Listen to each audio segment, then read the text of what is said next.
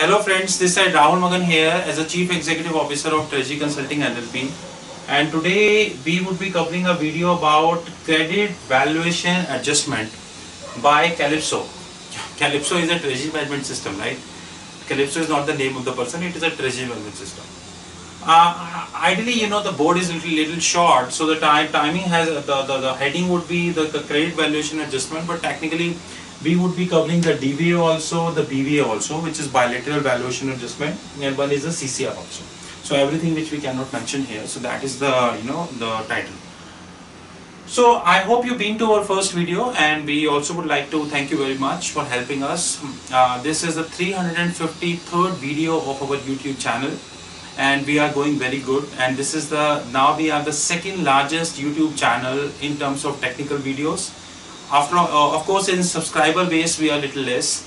But hopefully by July 2017 when we will celebrate the third anniversary of our YouTube channel precisely on the 20th of July then we would cross 450 videos. And hopefully by next year uh, which is by December 2017 we are planning to cross approximately 650 videos uh, on YouTube channel. And you know that it is not a bluffing videos. It is all technical videos there is no movie show or there is no songs which we are which we are showing here on our channel. So here we start. Now here we will take an example of my favorite bank. You know let us take the example of a UBS United Bank of Switzerland. Although already told you that uh, the big banks like UBS, Goldman Sachs, Credit Suisse, Citi, RBS, JP Morgan Chase, HSBC, Deutsche, they already have their prop softwares which they are running. But for a minute, assume that UBS is having Calypso. For a minute. Now Calypso is further divided into front office, middle office, back office and so on and so forth. Here we are taking an example of a dedicated front office Calypso. Now this front office which Calypso is having, now Calypso is a treasury management system that we know. Of course now treasury management system are rising, they are adding a lot of pricers, now I heard that they are adding accounting also. So there are a lot of action which is happening. It is not that action which is not happening.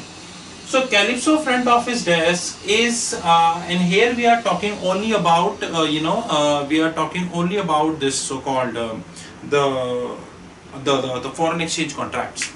So Calypso front office is speaking with the clients and the, assuming the clients are taking following front office, the following FX contracts, which is swaps, European swaptions, caps and floors, forward rate agreement, cross currency swap, FX forwards, FX option and so. You know that board is less, but the list is not less. This list is endless, right? So list is less, go, go and go on. Now all these contracts which uh, which the clients are taking, of course there is a pricing which is happening. The pricing is done by the Calypso pricer. Sometimes Calypso pricer are are uh, you know customized also. Uh, sometimes there are bank who are customizing the prices also. That we also understand that. Now what is happening that all these pricings prices are customized, but how the pricing is happening? This pricing is happening a model which is well recognized in the market which is known as LL, LMM model and my favorite model which is known as London Market Model LMM model. LLM model is a model which takes several info input uh, several input factor into consideration to give you an endogenous which means the output variables and that uh, several factors uh, would use to hedge all exotic swaps or long-term for foreign exchange instruments if you look at any one of them, which is swaps, European swaptions, caps floors, forward rate agreement, cross currency swaps, FX forwards and FX options, none of them is a short instrument. All are greater than one year. In fact, if you go here, cross currency swap, here minimum is 10 years. If you show caps and floors, minimum is 10 years. You go European swaptions, people booking for 15 years swaptions and considering the current volatility, the you know what what what was happening in the swaptions, right? Now in this what exactly is happening using this London market pricing model which we are not discussing here but this model is all about this model is have several input factors which you need to punch in and how these input factors to be taken into consideration you will have uh, I writing here let me write here you would have a block here in Calypso. In this block a feed is coming. Feed is coming from Thomson Reuters or could be from the Bloomberg. So let me write here, assuming the feed is coming from Reuters or take it both. why single.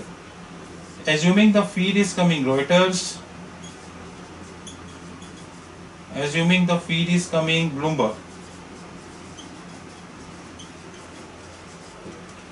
so this feed is is uh, coming up in this block which is six cent, uh, centigrated integrated with LMM model which is LIBOR market model. And that market model is integrated with all kind of foreign exchange instruments. Remember this fact carefully.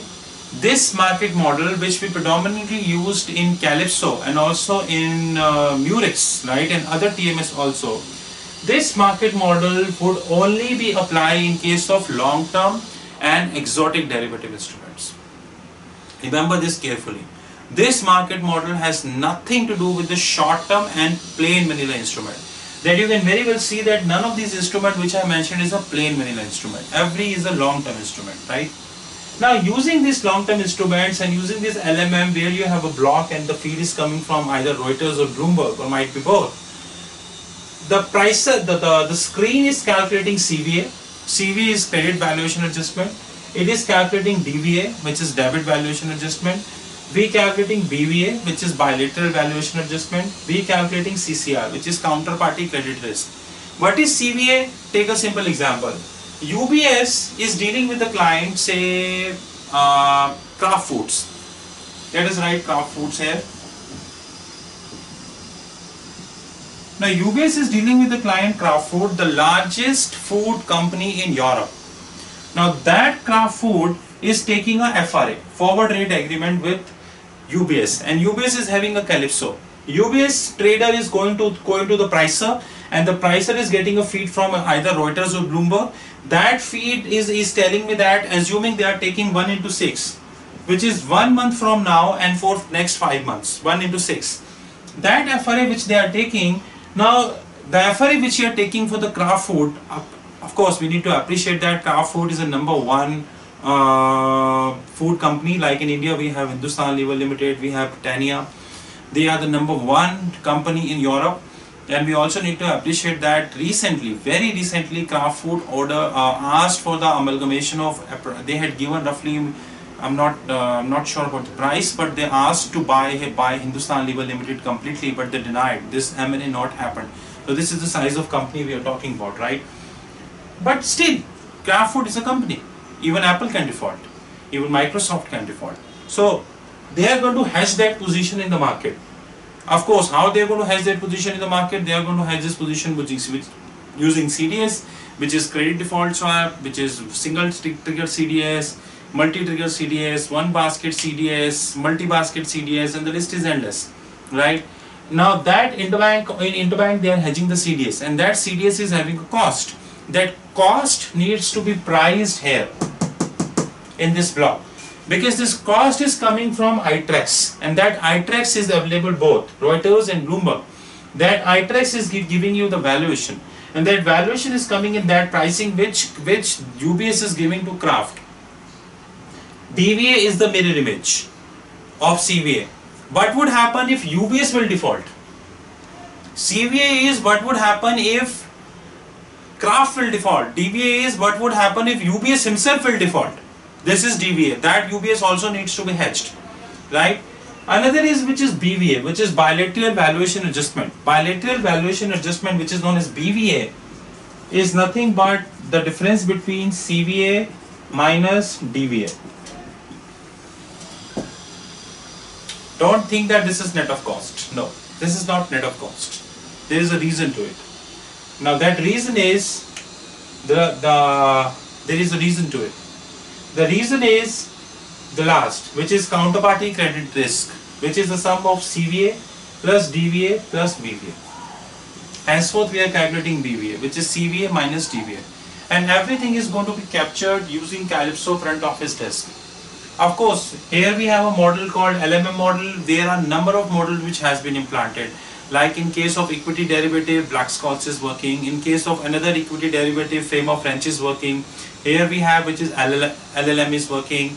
There are banks which I don't want to mention. There are banks who, are, who have modified Black-Scholes. There are banks who have their own implied curves. So what they are doing rather than taking the implied curve feed from Reuters and Bloomberg, what they are doing, they have their own implied curves, which their trading desk is giving, which would be our large, which would be our next video, right? So using these implied curves, what they are doing, they are they are picking up this domain, and uh, this is how they will calculate that. This again linked with the regulatory.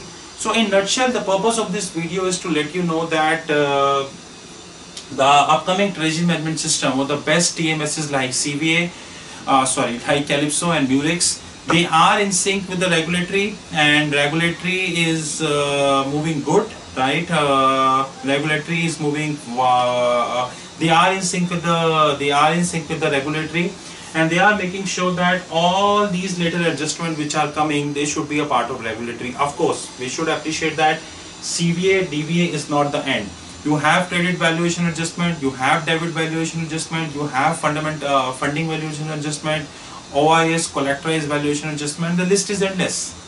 So this is the purpose of the video is to let you know that how in a Calypso, when you have a pricer and in this pricer you have which is LLM, how, how this is happening. You're always welcome to connect with us at 9899242978 which is my mobile number. My ID is Skype Rahul Rahul 5327 my email is rahul.magan at the rate treasuryconsulting.in and my website is www.treasuryconsulting.in. Thank you very much and have a wonderful time ahead.